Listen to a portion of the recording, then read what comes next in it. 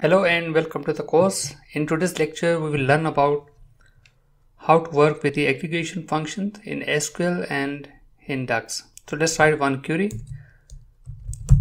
Select asterisk from dim product category.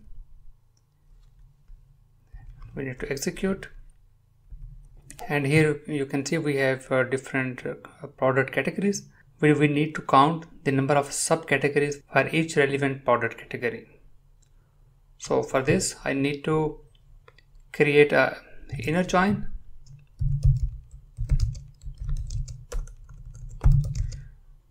so we have to use alias like uh, city for the category and inner join name product subcategory is SP. So then we need to specify one column city dot product category key is equal to SP product subcategory, key. So then we need to specify one column it's a city dot product category name. And uh, sp dot english subcategory.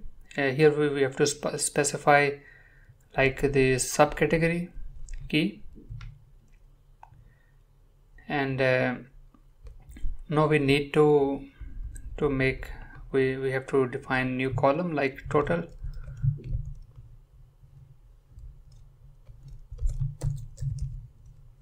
subcategories is equal to count.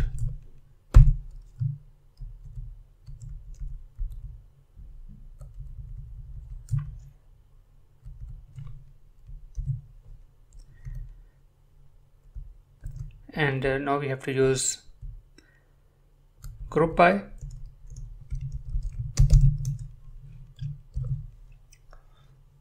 Need to execute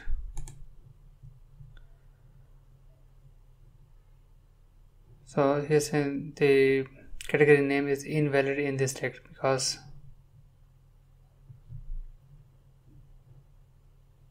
sorry then we have to write here uh, city dot French category but we need here English category name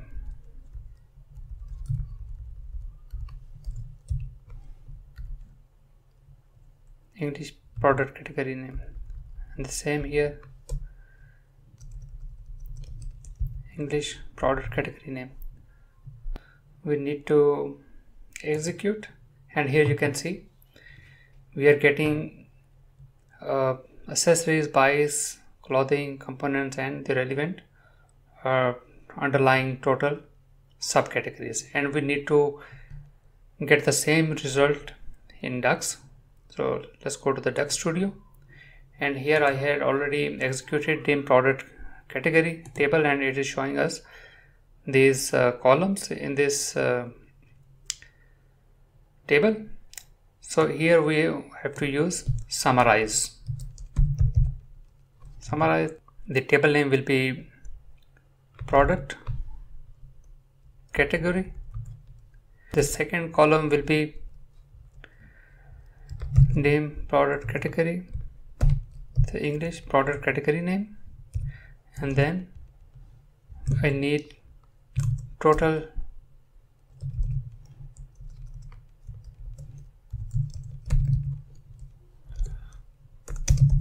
subcategories. And here I have to use count row.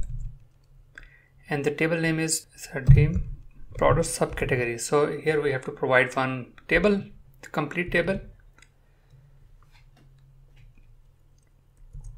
And close it. That's all. And then we have to click run. So here you can see we have bikes three bikes. And here you can see three bikes and uh, clothing components. So we are getting the same result. So this is how we can if we need to join multiple tables and we need to use group by so this is one option that you can use summarize and the underlying uh, aggregation function